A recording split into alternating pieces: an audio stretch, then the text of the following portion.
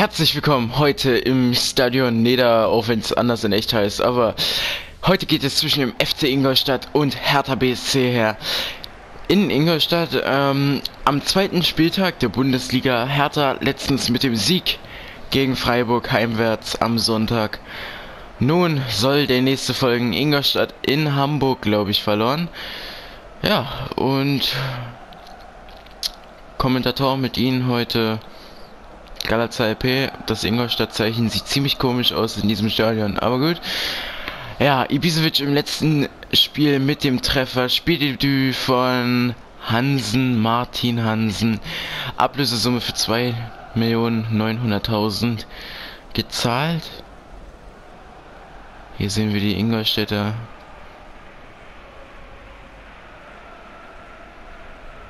Und nun die Aufstellung Ingolstädter im Tor Hansen, dann harter Rückschon oder so, Martin Wahl und Jungen bilden die Abwehr, Roger Groß und Cohen die Abwehr, äh, das Mittelfeld und Kittel, Lescano und Hartmann den Sturm.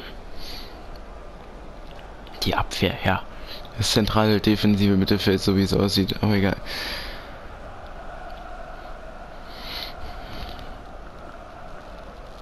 Timo Lenz in seinem zweiten Spiel ja, und nun die Aufstellung von Hertha BC. Jahrstein, Weiser, Langkamp, Brooks und Plattenhardt in der Abwehr, außer Jahrstein im Tor. Skebre, Kalu, Darida und Etzwein. In Mittelfeld Ibisevic und Selke vorne. Das heißt, Stocker ist raus, da, äh, Kurt ist raus, dafür Darida rein. Ja, aber ansonsten hat sich nichts verändert, auch nicht an der Startformation. Ähm, ja. Wir haben Anstoß. Leiter der Partie ist Harald Fimmler.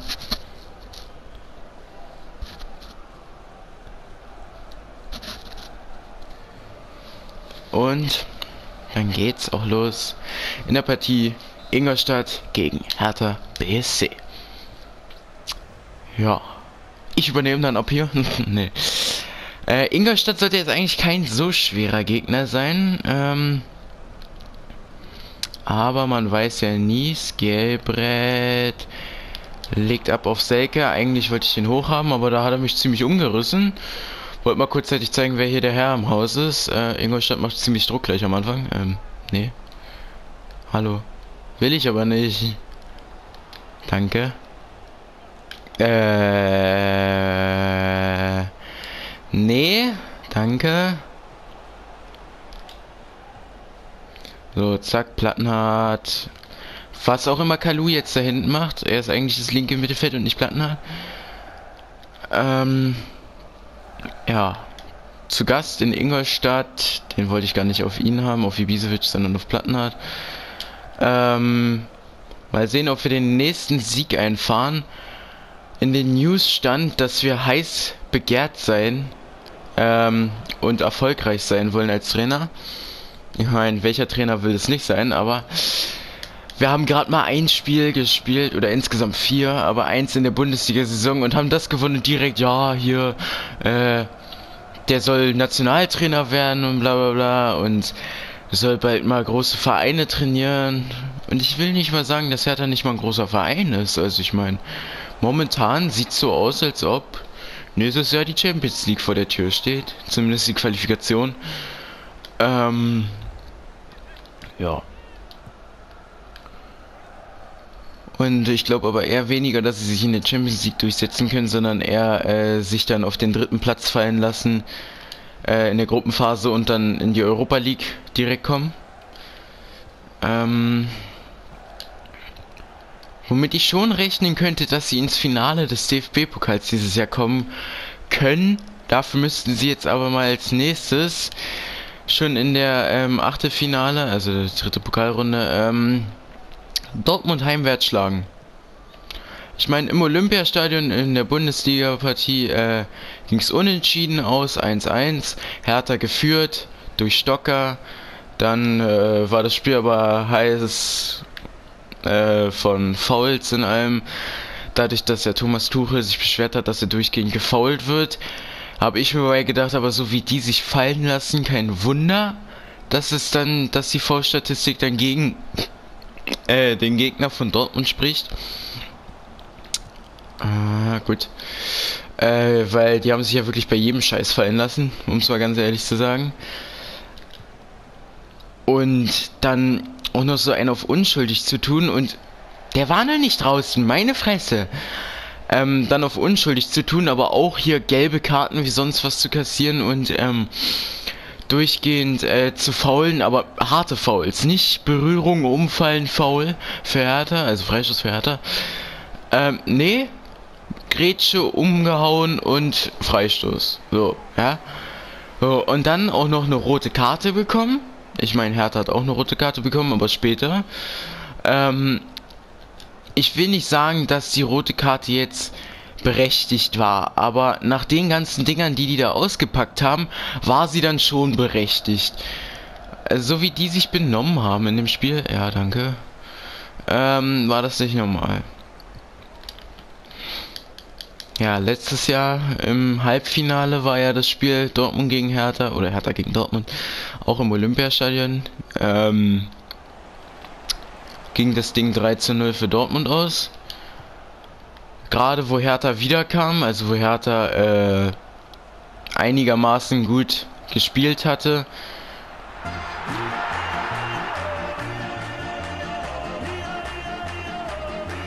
Fuck!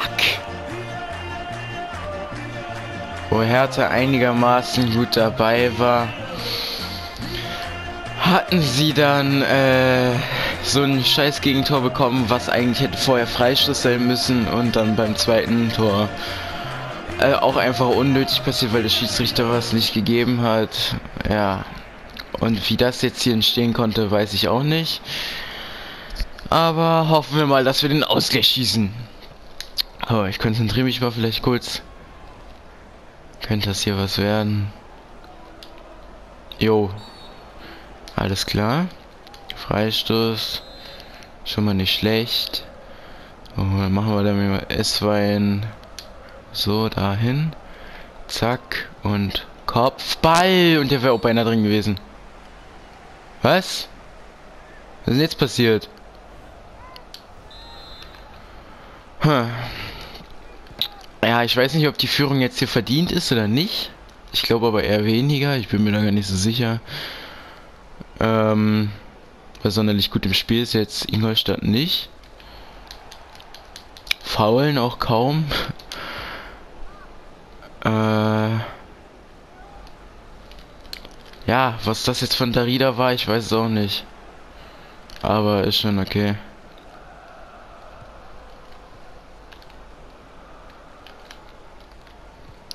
Ah, der kommt natürlich auch noch an. Nein! Sag mal, Willst, willst du mich eigentlich verarschen? Mann, Kalu, lauf nicht immer in die Abwehr. Der spielt immer überall, wo er äh, nicht sein soll und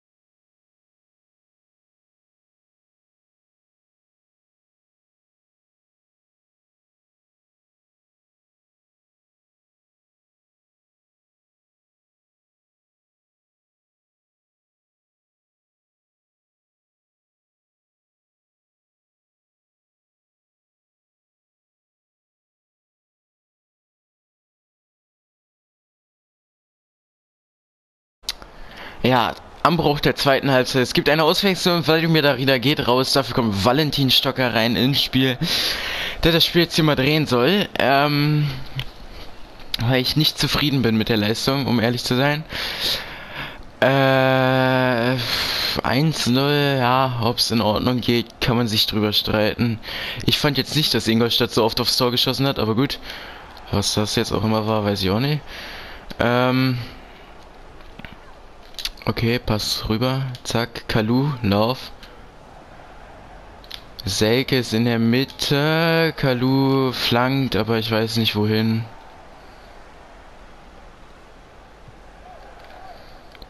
Ha, irgendwie ist dieses Spiel jetzt nicht so das Gelbe vom Ei. Komm schon. Sauber von Weiser. Ey, ich will immer in eine völlig andere Richtung drehen und die drehen sich immer zum Spieler.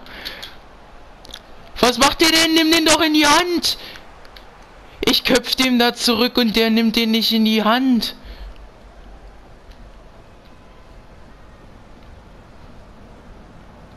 Finde ich gut, dass ich da einfach so durchrennen kann.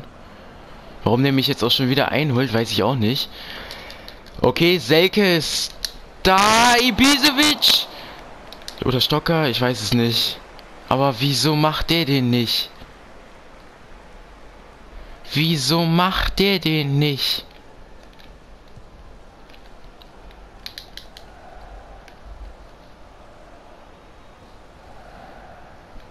Ich verstehe es nicht. Okay, schön durchgesteckt. Ingolstadt muss als nächstes gegen Bayern. Nein, Selke verpasst. Ist jetzt nicht dein Ernst. Was? Hey, was habe ich denn jetzt schon wieder getan?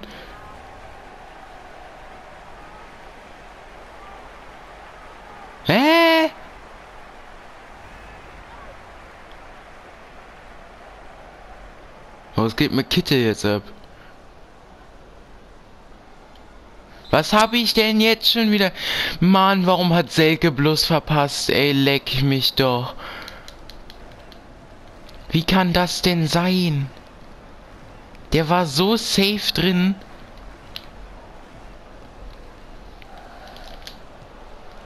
Oh, der geht natürlich nicht rein.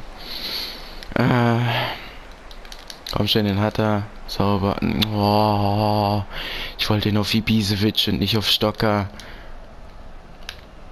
Schön, super. Mann, ey, das gibt's doch gar nicht.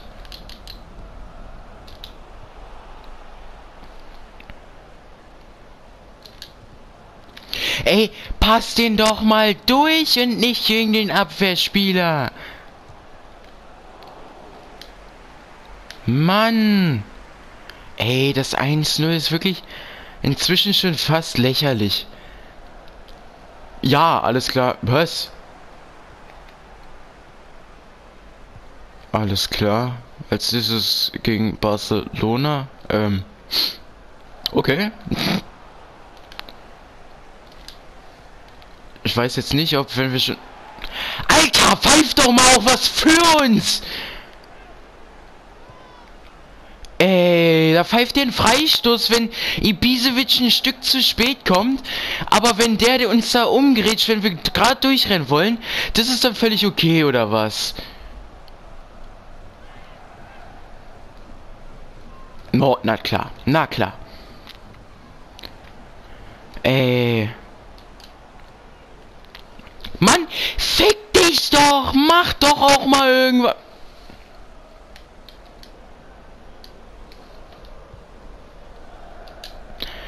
Also wem willst du hier erzählen, dass das Ding hier... Ja, komm, und noch öfters, ihr Missit.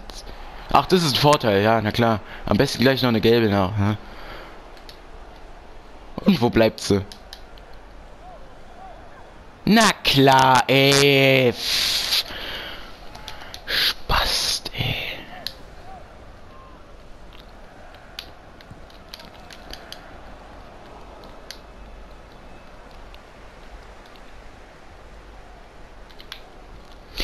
Ey, wie kann das denn sein, dass der Typ einmal gegen mich läuft und sofort den Ball bekommt?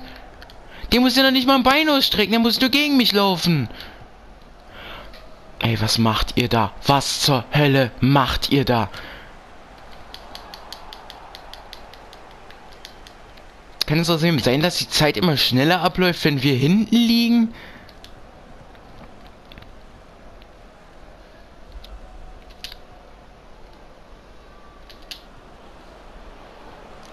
Ja, na mo Pfeif doch mal bitte irgendwas. Meine Fresse, ey.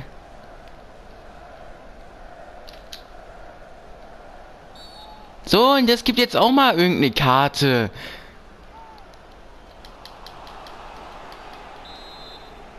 Boah, ey.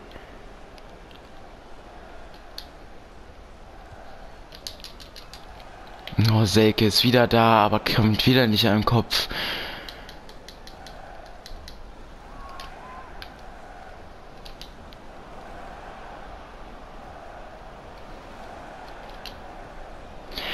Ey, ich hab nicht in die Richtung gelenkt. Ich hab auf, genau auf Selke gelenkt.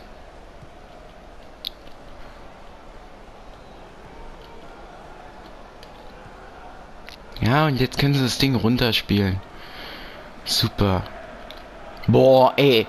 Was machen die da bitte hinten? Was ist mit euch los?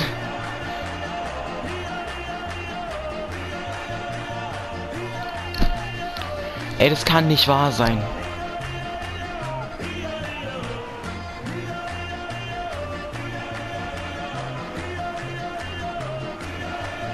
Wie kann ich da hinten so offen freistehen? Wie? Ich habe nichts gedrückt. Ich habe nicht auf offensiv gestellt. Ich habe gar nichts.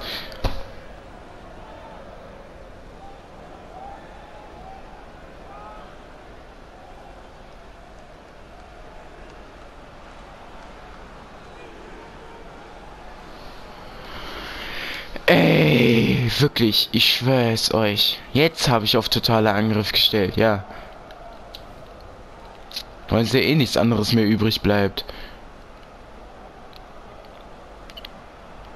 Ja, na klar, na klar, na klar, na klar. Der muss nur einmal grätschen und kommt am Ball. So, und jetzt kommt es 3-0 und dann hasse ich euch alle. Wie kann der schneller sein als Plattenhardt?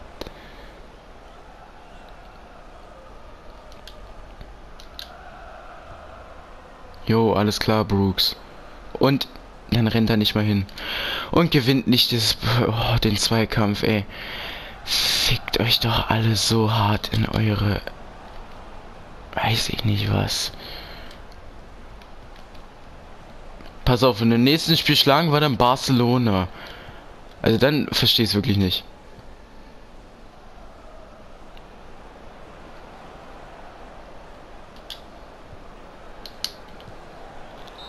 Selbst den verkackt er. Selbst den verkackt er. Und diesmal stand er frei vor einem Tor. Wirklich, ey. Das Spiel. Ich weiß nicht. Verdient oder nicht, man kann sehen, wie man will. Naja, also ein 2-0, hm. Kann man drüber streiten. Es gab null Ecken.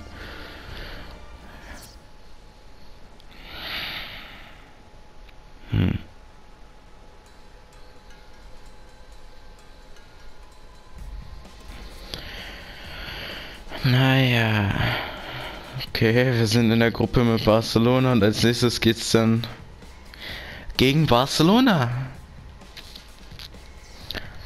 Ja?